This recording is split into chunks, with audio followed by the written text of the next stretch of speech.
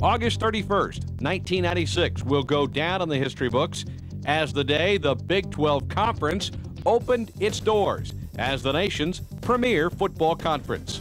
And the historians will note that on that day, the winner of the first ever Big 12 Conference football game was Kansas State. All American wide receiver Kevin Lockett made three key receptions, including a brilliant 29 yard grab on this third down play.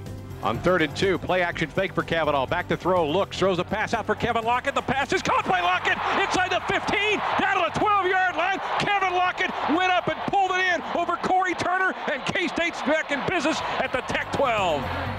The Cats then added two more touchdowns to take a comfortable 21 3 lead early in the fourth quarter. Throws a little inside screen to Dean to the 15, Jimmy to the 10, hurdles a defender, 5, touchdown K-State. Jimmy Dean hurdles over a man at the 5 and goes in for the score, and K-State now leads 13 to 3. Canty back to retrieve for K-State. 13 minutes left of this game.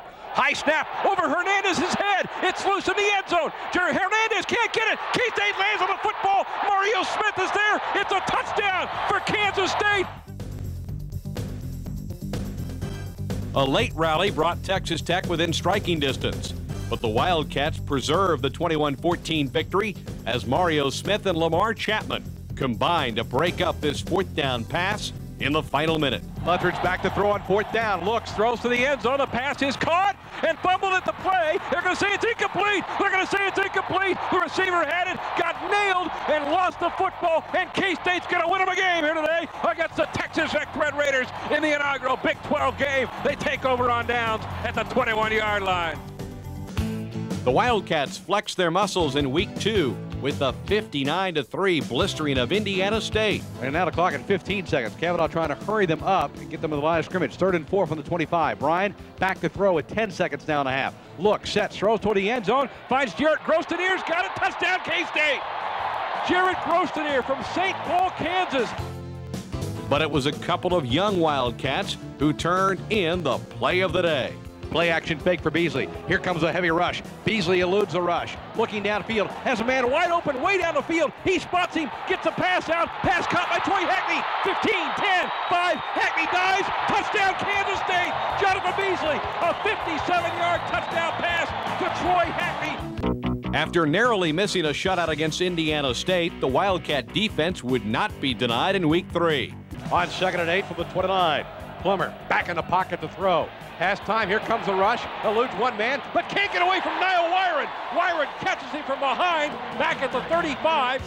K-State's first road trip of the season took the Wildcats to Houston for a matchup with the much improved Rice Owls.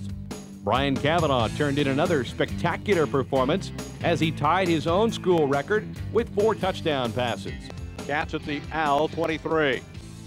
Brian takes a snap, back to throw, looks, has time, sets, looks over the middle, pass is caught near the goal line, touchdown, Kansas State. It's Jimmy Dean across the middle, made the catch at the three and goes in. And K State, what a drive! They go 80 yards and they're on the board after a 23 yard pass from Ryan Kavanagh to Jimmy Dean.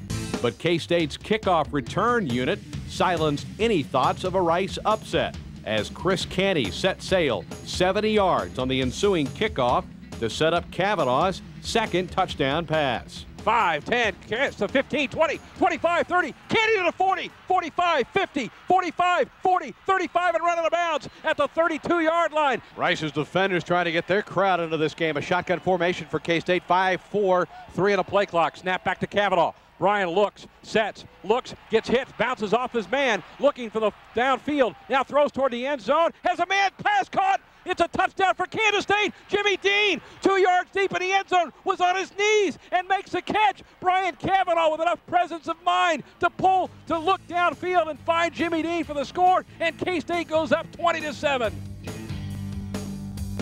In addition to his kick return, Canty kept the Owls up all night in this one, as he also had an interception return for 44 yards, three punt returns for 37 yards, and one reception for 26 yards. Final score K State 34, Rice 7.